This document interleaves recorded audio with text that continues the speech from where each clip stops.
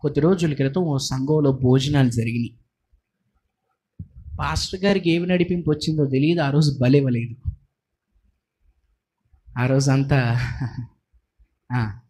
బలిగర్పణ లేకుండా కేవలం కూరగాయలు కొయ్యడం మాత్రమే ఉంది భోజనాల్లో. అంటే మాంసం పెట్టుకుంటే పెట్టాడు భోజనాలు పాస్టర్ గారు. నాకు తెలిసిన దైవజనులే.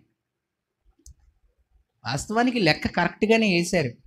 అన్ని వందల మందికి అన్ని కేజీలు భోజనం. అలా మొదటిసారి భోజనం వండేవాళ్ళు కూడా కాదు. వాళ్ళు చాలాసార్లు వండారు చాలాసార్లు వండించారు. పైగా వంట మేస్త్రి ద్వారా చక్కగా వండించారు చక్కగా రుచికరంగా చేయించారు. అంత బాగుంది. భోజనాలు కనీసం ఇంకా యాభై నుంచి వంద మంది దాకా మిగిలిపోయినాయి. జనాలు ఏమైనా తక్కువ వచ్చారంటే లేదు. సరిపడగానే వచ్చారు. అనుకున్నట్లుగానే వచ్చారు.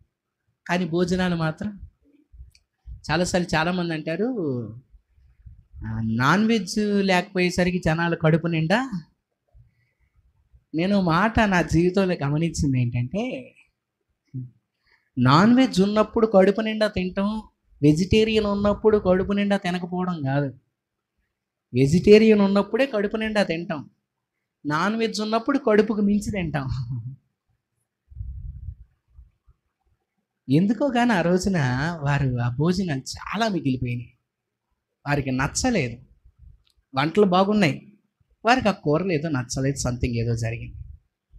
పాస్టర్ గారు వెంటనే మొత్తం పార్సిల్ చేయించి నైట్ టైం యవనస్తుల్ని ఆ కారులో ఎక్కించి ఆ పార్సిల్ని కారులో పెట్టి పంపించాడు.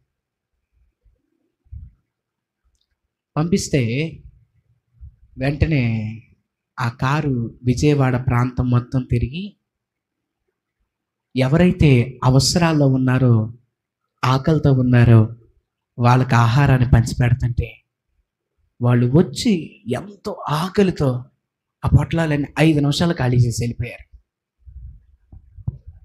ఐదే ఐదు నిమిషాల్లో కారులో ఉన్న భోజనం అంతా ఖాళీ అయిపోయింది. ఒకరికి ఎక్కువైపోయింది ఒకరికేమో అది చాలా అవసరం ఉంది. అవసరంలో ఆకలితో ఉన్నారు కాబట్టి వాళ్ళకి అది చాలా రుచికరంగా ఉంది. ఆకలితో లేరు కాబట్టి ఆకలితో లేరు అనే మాట కూడా కాదు కానీ వాళ్ళకి అది తప్ప వేరే దిక్కు లేదు వేరే ఆధారం లేదు వేరే అన్నట్టుగా లేదు కాబట్టి వారికి అది పెద్ద గొప్పగా ఏమీ అనిపించలేదు. దేవునికి స్తోత్రం చెల్లిద్దామా? నేను చెప్పాలనుకుంటున్న మాట ఏంటంటే సమీపంగా ఉన్నప్పుడు కొన్నిటి విలువ తగ్గిపోద్ది. సమీపంగా ఉన్నప్పుడు కొన్ని మనకి చులకనైపోతూ ఉంటాయి. సమీపంగా ఉన్నప్పుడు కొన్ని మనకి లెక్కలోనికి రావు. కొంతమందికి పది రూపాయల కాగితం ఇరవై రూపాయల కాగితం యాభై రూపాయల కాగితం పెద్ద లెక్కగా ఉండదు. కానీ కొంతమందికి అదే పది రూపాయల కాగితం ఇస్తే చాలా పండగగా ఉంటుంది. కొంతమందికి అది ఎందుకు లెక్కలో లేదంటే అలాంటివి ఎన్నో వాళ్ళ దగ్గర ఉన్నాయి. కాబట్టి వాళ్ళు దాన్ని పట్టించుకోవట్లేదు. ఒక మాట ఆలకించండి.